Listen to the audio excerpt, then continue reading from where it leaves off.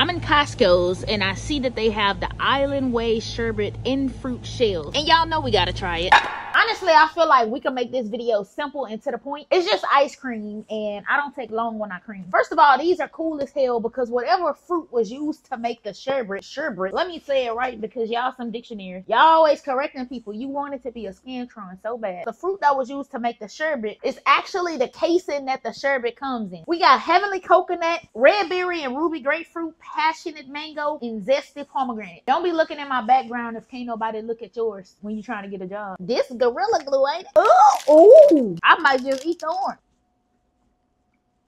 they could have kept this coconut on the tree. Which one of you booty bag bandits is keeping Almond Joys in business? If you have a Starburst, the dark color red one, that's exactly what this one tastes like. This one is hitting.